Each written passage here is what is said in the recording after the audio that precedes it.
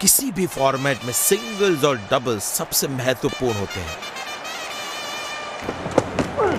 गेंद की गति से बीट हुए बल्लेबाज, रोमांचक गेंदबाजी। इस विकेट की तलाश थी इन्हें। कैप्टन काफ़ी खुश गेंदबाज से। बल्लेबाज पेविलियन का लंबा रास्ता तय करते हुए कहना होगा कि यहाँ पर शॉट सिलेक्शन बेहतर हो सकता था।